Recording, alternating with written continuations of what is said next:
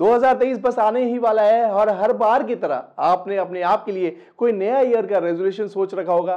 But क्या आपने इसमें अपने पोर्टफोलियो रिलेटेड कोई भी रेजोल्यूशन सोचा है? नहीं लिया तो चलिए मैं इसमें आपकी मदद करता हूँ। आज मैं आपको ऐसे top three mid cap funds के बारे में बताने वाला हूँ, जिसमें आप 2023 में निवेश करने के बारे में सोच सकते हैं। हेलो, नमस्कार, welcome to the brand new video. मैं हूँ अमित राठी, आपका अपना सर्टिफाइड फाइनेंशियल प्लानर और आज की इस वीडियो में हम जानेंगे ऐसे top three mid cap fund of 2023 पर सबसे पहला तो यह जानना ज़रूरी है कि क्यों मिड कैप फंड्स एक अट्रैक्टिव इन्वेस्टमेंट अपॉर्चुनिटी है।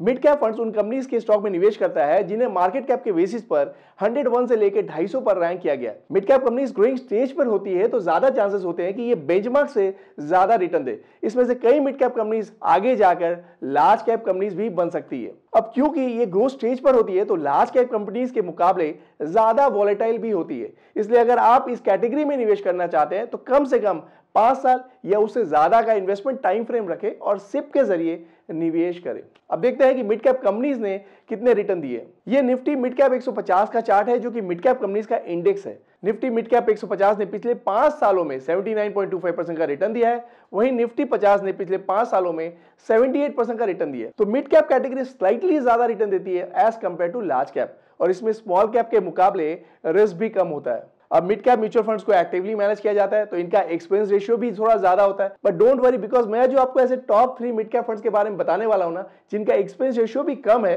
और रिटर्न ने भी मार्केट को बीट किया तो चलिए शुरू करते हैं।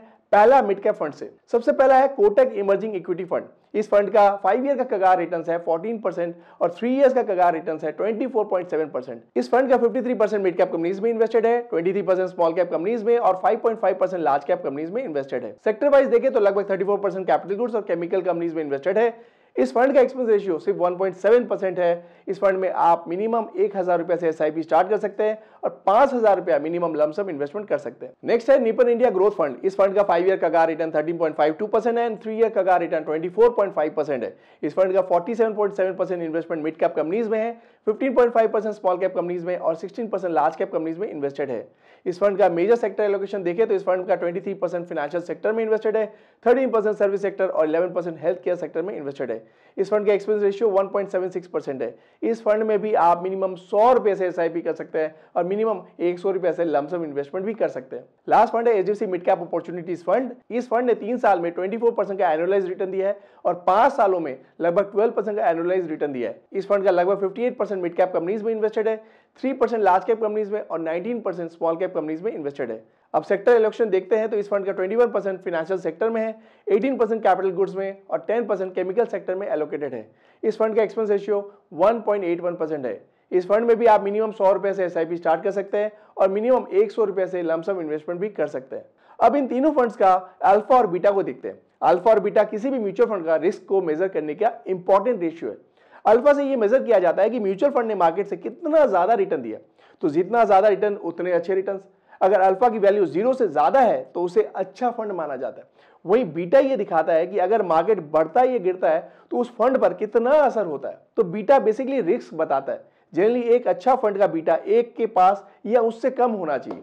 कोटक इमर्जिंग इक्विटी का अल्फ़ा है 1.66 और बीटा है 0.86 निपन इंडिया ग्रोथ फंड का अल्फ़ा है 9.72 और बीटा है 1.91 परसेंट एच मिड कैप का अल्फ़ा है 2.69 और बीटा है 0.84 इसमें निपन इंडिया ग्रोथ फंड का अल्फ़ा सबसे ज़्यादा है, पर रिस्क भी कंपैरेटिवली ज़्यादा है। वहीं बाकी दोनों फंड्स ने भी मार्केट से बेहतर रिटर्न्स दिए इन रेशियोज को लास्ट तीन साल के डेली रिटर्न्स के बेसिस पर कैलकुलेट किया गया इन तीनों ही मिड कैप फंड्स के सेक्टर एलोकेशन भी अलग अलग हुए तो इन्वेस्टमेंट डिसीज़न लेते वक्त सिर्फ़ अल्फ़ा और बीटा को ना देखें, बल्कि सेक्टर एलोकेशन को भी देखें। अब बात करते हैं टैक्सेशन की। ये तीनों ही म्यूचुअल फंड इक्विटी कैटेगरी में आते हैं। तो अगर आप इन्हें एक साल के अंदर बेचते हैं तो कैपिटल गेन पर आपको पंद्रह परसेंट का टैक्स देना पड़ेगा। और एक साल के बाद एक लाख तक का कैपिटल गेन पर कोई टैक्स नहीं लगेगा। और एक लाख के ऊपर हुए कैपिटल गेन पर दस परसेंट का टैक्स लगेगा। आई होप आपको ये मेरी एनालिसिस अच्छी लगी होगी। अगर आप इन फंड्स के बारे में और कुछ भी जानना चाहते हैं या अपना पोर्टफोलियो रिव्यू करवाना चाहते हैं तो आप नीचे दिए गए नंबर पर हमारे एसेट ग्रुप से बात कर सकते हैं या हमें व्हाट्सअप भी कर सकते हैं। अगर आप चैनल पर नए हो तो ऐसे और इन्वेस्टमेंट आइडियाज़ के लिए हमारे चैनल को सब्सक्राइब करें। मिलते हैं नेक्स्ट वीडियो में with new investment knowledge and strategy के साथ। तब तक इस वीडियो को देखने के लिए हमारी तरफ़ से बहुत बहुत धन्यवाद। और हाँ इन्वेस्ट करें, खुश रहें।